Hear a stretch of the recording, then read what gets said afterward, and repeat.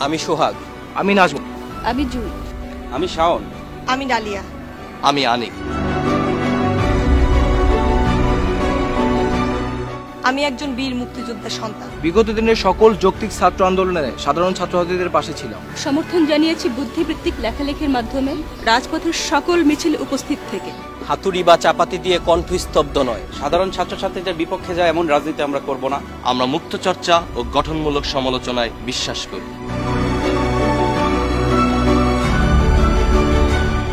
যুক্তি ও সংখ্যাগরিষ্ঠ মতামতের ভিত্তিতে সিদ্ধান্ত নিতে চাই আমরা। সাধারণ ছাত্রছাত্রীদের অধিকার সংরক্ষণের সকল দাবি নিয়ে ভবিষ্যতে আমি সোচ্চার থাকব। উগ্রতাকে পছন্দ করি না প্রশ্রয় দিব না। পরিবর্তনের অঙ্গীকার আমাদের। সিদ্ধান্ত আপনাদের।